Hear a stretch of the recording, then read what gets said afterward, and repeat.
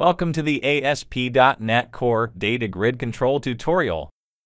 In this video, you will learn how to bind Expando and dynamic objects to the Syncfusion ASP.NET Core Data Grid Control. First, I'll open the existing ASP.NET Core web application where I have added the Syncfusion Data Grid Control. I have also bound order data to the grid component using the data source property. I've added the Grid Columns tag to display and customize specific columns with a few basic properties. To learn more about integrating the data grid control into an ASP.NET Core web application, please check the Getting Started video linked in the card above and the description below. Let me run this application by pressing the F5 key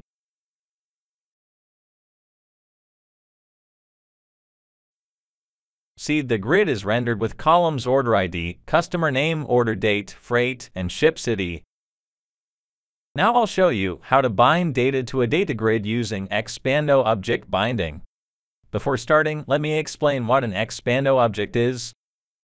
The Expando object is a class that allows you to add and delete a member of its instance at runtime, and to set and get values of these members. Usually the ASP.NET Core Data Grid is strongly bound to a data source model type. Suppose you want to define the model type at runtime, you can make use of this Expando object class. Now I'll show you the steps to bind the Expando object to the data grid. Here in this application, notice that all the fields are already defined in the order details model class, and they act as a data source type for the grid component. Suppose I bind dynamic properties at runtime without defining the model class, then I need to use expando object binding. So let me first comment out the model class order details and import the namespace system dynamic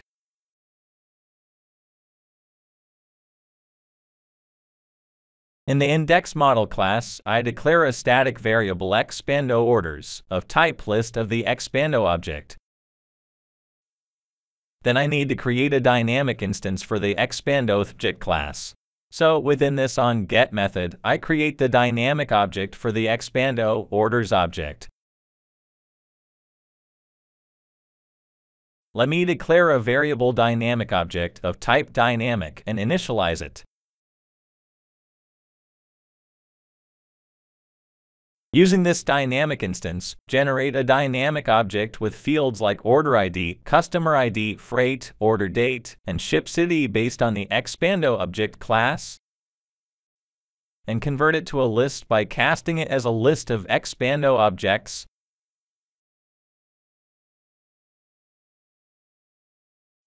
Finally, assign this Expando orders list to the data source property, thus changing the data source type of the data grid to Expando object. Look now the data grid is displayed with the dynamic data source properties, order ID, customer name, order date, freight, and ship city. Next, let me show you how to bind a dynamic object as a data source for the ASP.NET Core Data Grid. The dynamic object class enables you to define the structure of an object at runtime, specifying the operations to be performed and how to perform those. I cannot directly create an instance of the dynamic object class. To implement the dynamic behavior, I need to inherit from the dynamic object class and need to override the tryGetMember, trySetMember, and getDynamicMember names methods. So as a first step, define a class dynamic dictionary and inherit the base class dynamic object.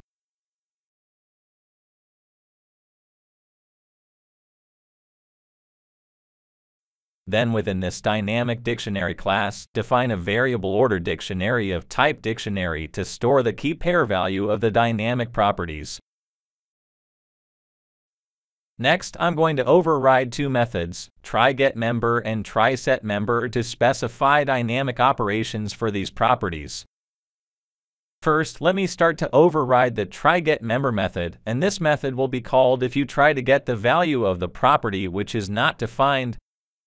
Within this method, I get the value of a dynamic property through the binder, and I need to assign it to the string variable name, then I will return this variable name to the order dictionary using the try get value method.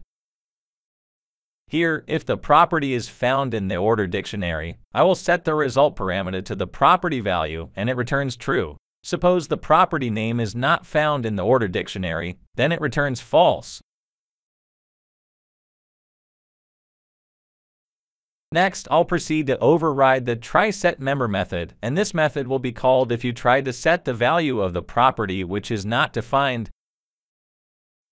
Within this method, I need to set the value of an undefined property.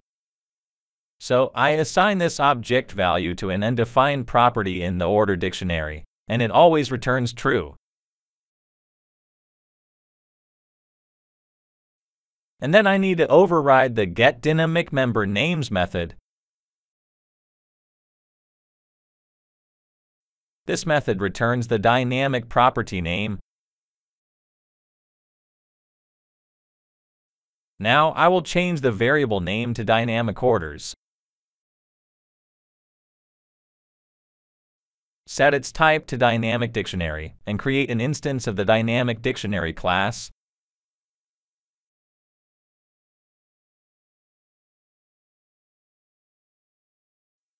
Finally, change the data source property to dynamic orders.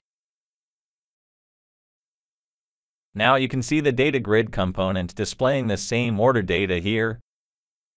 You can perform all the supported data operations and editing using the Expando and dynamic objects. Now let me quickly summarize what I've shown you so far.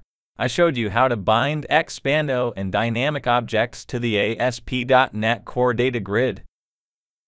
You can download a working example from the GitHub link shared in the description below. You can also see if you're eligible for our community license, which will get you a free license key to use our products. Thank you for watching this video. If you found it useful, please give it a like and subscribe to our channel.